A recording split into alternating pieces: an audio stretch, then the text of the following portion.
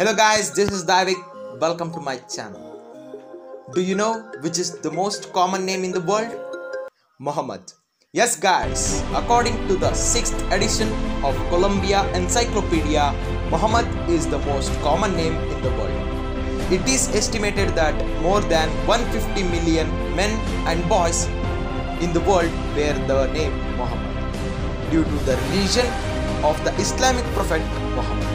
If you like this video, like it, share it, subscribe it and don't forget to press a bell icon.